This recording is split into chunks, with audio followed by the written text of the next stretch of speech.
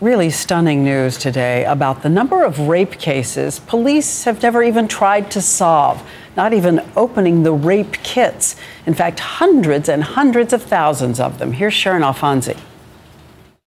It was supposed to be a celebration, but the night of her 21st birthday, Valerie Newman was raped. In the hours that followed, she agreed to allow technicians to collect evidence for a so called rape kit. She um, asked me to take off all my clothes and she like does a physical exam looking all over, taking more pictures, swabbing, pulling more hairs. It's humiliating, it's embarrassing. An intrusive six hour long process Newman hoped might help police find her attacker. But today, it's been three years, five months, and four days since I was raped. And that kit was put aside, never processed. In cities across the country, an estimated half million rape kits sit on police department shelves, never opened, never tested. Some have been there for years.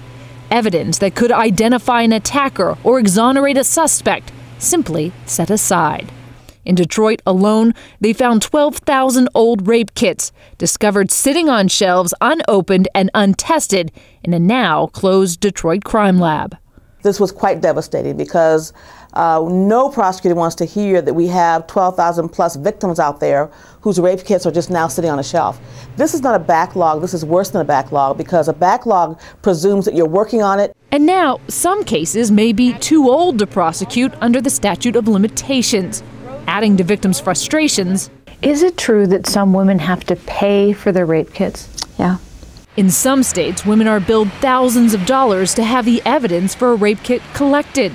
I've never heard of you having to pay for the fingerprints or any of the testing they do in a crime scene. But you might have to pay for a rape kit when your body is the crime scene. And perhaps most telling, Valerie Newman says if she was raped again, she would not go through the process of collecting evidence. She says she has lost faith in the system. And this is one of those rape kits. It is 15 steps. This no. takes six hours.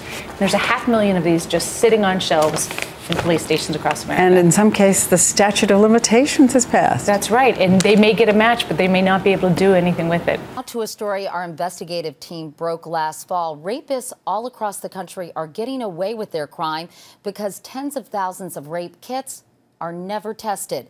The issue reached Capitol Hill today, and as our chief investigative correspondent Armen Keteyian tells us, the outrage was loud and clear.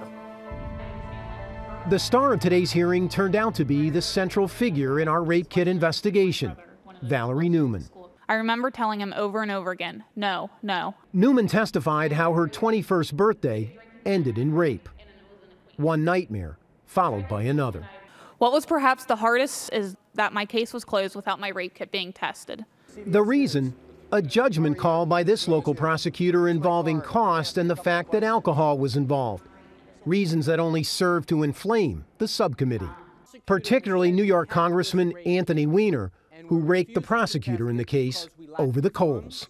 If he doesn't think he can win the case with a witness and a rape kit, then I don't know how you make yourself a prosecutor. The congressman was so irate, he made this remarkable offer. If it's for want of a thousand bucks, I think among my colleagues here on this panel we'll raise the money. As an example, Look at the recent CBS News report. It was back in November that CBS News first shined a light on the staggering number more than 20,000 untested rape kits nationwide, never sent to crime labs, plus another 6,000 in crime labs waiting months, even years to be tested. When we have talked to victims, they're incredibly disillusioned with the criminal justice system.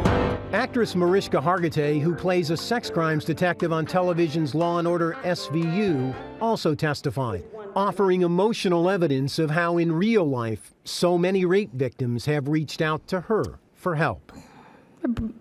Sorry. I remember my breath going out of me for the very first time when the first letter came, and I've gotten thousands like it since. Turning Hargitay into an advocate for breaking the backlog in untested kits. They must be tested. We, we are letting, we are consciously letting criminals walk again. But maybe not so fast. CBS News has learned the Justice Department recently called together a group of experts from across the country to better deal with this problem. Katie. Armen Keteyian, Armen, thank you so much.